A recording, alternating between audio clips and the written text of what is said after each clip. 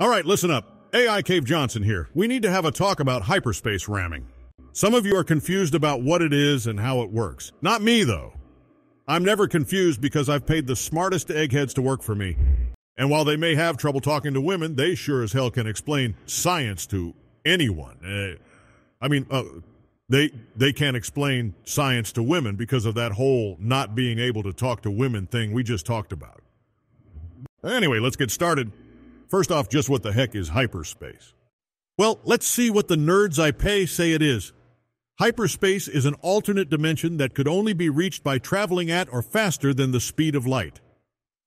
While in hyperspace, you are able to pass through objects that are in real space without colliding into them.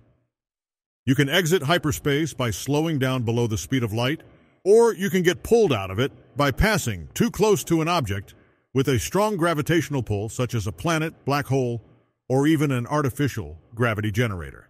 Now, if you're like me, you might be wondering what the hell is going on with the stars there. Well, the boys in the lab tell me that's called pseudomotion. Basically, as your ship starts to make the jump to light speed, it's what causes the stars and planets to look like they are moving right before you make the jump. So there we go. That's it. Now that you know what hyperspace is, let's talk about hyperspace ramming.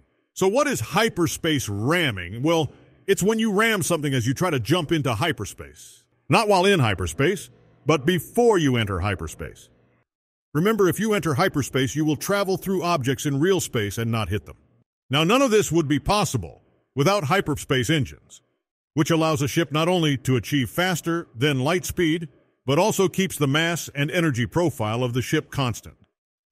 This is extremely important because the reason actual light speed travel is impossible is that as you get closer to the speed of light, your mass and the energy required to achieve light speed increases exponentially towards infinity. This is why actual light speed travel is impossible because it would require an infinite amount of energy to actually reach the speed of light. But, as you see here in Star Wars, they created their hyperdrives to prevent this increase of mass and thus keeping the required energy to stay constant. So in Star Wars, as you approach the speed of light, your mass stays the same, and so does the energy required to get there. So let's take a look at what Admiral Holdo did. Kaboom! Now, that is lucky. Had she been further away, she would have entered hyperspace and passed right through them without causing any damage. Had she been closer, she wouldn't have had the same velocity, and while she would have still damaged it, she wouldn't have been able to break through the ship and cause all that shrapnel. She managed to hit the supremacy at the perfect moment, which was right before she entered hyperspace, so she was going at the maximum velocity. Think about that. She hit the supremacy with the mass of a large capital ship going almost the speed of light. That is what caused such a huge explosion and resulting shrapnel. Not to mention, had General Hux decided to get his head out of his butt and actually fire on Holdo, they could have easily destroyed her. It's empty. They're just trying to pull our attention away. Or at least disabled the hyperdrive engines before she was able to jump. The rebel flagship is disabled, my lord. But has... I'd say you have a one in a million chance of pulling this off. So why hasn't anyone weaponized it? Because it's a stupid idea with very little effective use that even I think costs way too much. I mean, have you seen the stuff I've wasted money on? But let's say you don't want to waste a ship. You just want to use an asteroid with a hyperdrive attached to it. Okay, well, you're still going to need a very large and very expensive hyperdrive to do that. You're not moving an asteroid with an X-Wings engine, that's for sure. So now you are flying around with your very large asteroid that costs slightly less than a freighter because of the expensive hyperdrive. So you hyperspace in, and then as you get ready to launch, boom. Yep, turns out turbo lasers make short work of asteroids. Now I know what you're going to say, but why don't we make a smaller hyperspace ram that moves fast and can avoid turbo laser fire? Congratulations. You just created a missile, idiot. Sure, it's a missile that can go fast, but it's not going to be that more destructive than a missile with a highly explosive payload. And if you think you're smart by just replacing the explosive with an incredibly dense material like tungsten, well, guess what? That's not going to take out Star Destroyers either. Without that explosive payload, it just becomes a needle and would poke holes in ships instead of blowing them up. A ship with holes in it can still shoot back at you. That's, of course, assuming that you manage to hit your target or don't get blown up while trying to hit it. By the way, for that tungsten missile to even work, you need a hyperdrive powerful enough to move that much mass. So you are right back to square one, requiring a massive hyperspace engine to launch it. Even then, the missile is just a sitting duck until it jumps, unless you add a sublight drive, which again is going to have to be capital class to move that much mass. Which means it won't be maneuverable enough to avoid turbo laser fire. Are you seeing a pattern here? Now, I know some circuit brain out there is going to leave a comment about how, as you get to the speed of light, the mass would increase and make the explosion more powerful. Therefore, you could destroy a planet or Death Star with a ship no larger than an A Wing. We talked about this, remember? Hyperdrives keep the mass of the object constant. Otherwise, you can't go to the speed of light. Let's talk about the next problem. When would you use this? The two times we see this used against a ship are in The Last Jedi and in The Rise of Skywalker. In The Last Jedi, it's incredibly effective because the impact creates a ton of shrapnel moving at close to the speed of light, shredding the Star Destroyers following in a wedge formation. Key takeaway there the Star Destroyers are following in a wedge formation. That's not something that happens a lot in Star Wars.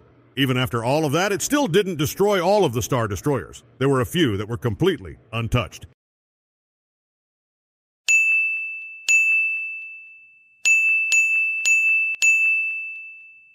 It's pretty rare we even see that many Star Destroyers together in the first place, so at best you would take out one Star Destroyer. The other time we see it is at the end of Episode 9. We see a lone ship has hyperspaced rammed a Star Destroyer. Look at that little guy. He's excited because he knows he's eating good tonight. No, seriously, those guys eat humans. Vicious little bastards. This is after the Resistance kill Palpatine and stop the other Star Destroyers from taking off. This feels like a bit of a waste, really. I mean, the war's over. I mean, maybe someone should have space Skype them and let them know they already won.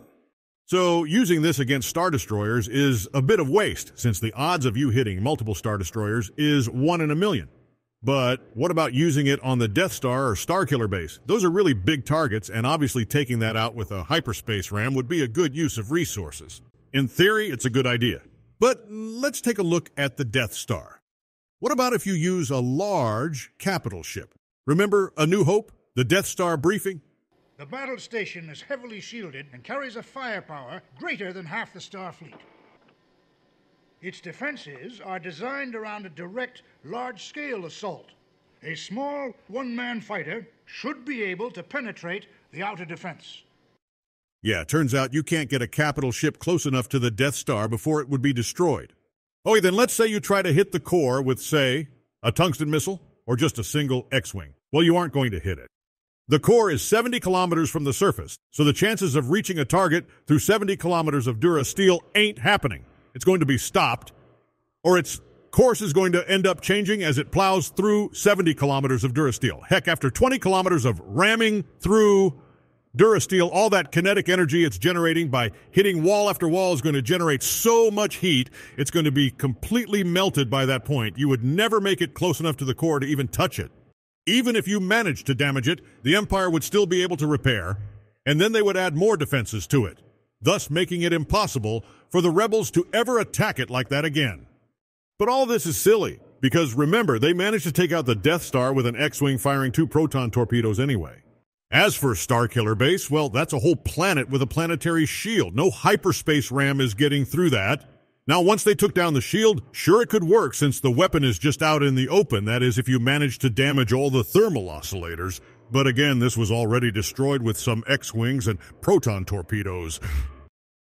Let's try one more hypothetical here. Let's say you found a way to weaponize hyperspace ramming that was cheap and easy to deploy. Well, hyperspace ramming is easy to stop. We already talked about how easy it is to shoot large targets and disable them. But let's say you manage to slip one through and take out an entire fleet of Star Destroyers. Well, that's it then. You get to do that only once. Because after that, the Empire is just going to equip every Star Destroyer with a gravity well generator. This is something they developed before the first Death Star. It's a device that creates a gravity well, which prevents ships from entering hyperspace as well as pulling them out of hyperspace. Great, so your entire arsenal of hyperspace weapons is now 100% useless. And trust me, I know how that feels. Nothing worse than spending millions on a new weapon to have it be beaten by some test subject in a potato. The final talking point I keep hearing about this is why didn't people develop this before? And I ask you who? Who would develop a weapon and use a weapon like this? When would they even use it? The Republic? Nope, they are not into building weapons of mass destruction. I mean, they didn't even have a standing army until the Clone Wars. Not to mention, when they win the war, they want the separatist planets to rejoin them. Using WMDs is a bad way to go about that. The Separatist Alliance? Also a big nope. That would be a huge waste of resources. Look at their tech with the droid army. They didn't make single use items. Almost everything was made to be reused and have multiple uses. Even their missiles were designed to be reused. Remember buzz droids? They were designed to move from ship to ship after they tore them apart, not just blow up on a single ship. Also, like the Republic, when the war is over, they want to continue to trade with them. The Empire. While they aren't above using WMDs, it is a waste of resources. Remember, the Empire uses prison and slave labor where it can instead of droids because it's cheaper and a more effective use of resources. The Empire is so cheap, they refuse to even put hyperdrives in TIE fighters fighter that size couldn't get this deep into space on its own. Who would they even use it against? The rebels? Why? They have star destroyers and tons of TIE fighters, not to mention the rebels are scattered across the galaxy. Finding them is the hard part, destroying them is easy. That was the whole reason why the Emperor leaked the plans to the rebels, so he could get them all in one place and destroy them. The Empire also likes projecting their power and reach. That's why they built the Death Star in the first place. Fear will keep the local systems in line. Fear of this battle station. Could the Empire have created large tungsten hyperspace rams to drop on planets? Sure, it could have, but that would be a waste. Why do that when you can just blast it from orbit with your star destroyers or bombers? Look what they did to Mandalore. I mean, sure, you could go and retrieve the tungsten when you are done. But do you think the Empire is going to sit around after it destroys a planet to retrieve the tungsten rods? Hell no, they've got shit to do.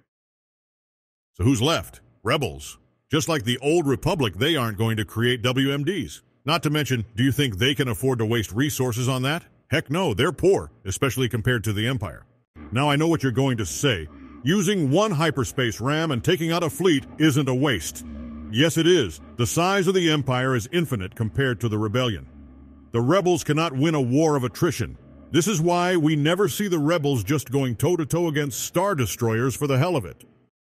The rebels use hit and run tactics. They attack strategic targets because every battle might be the last one for the rebellion.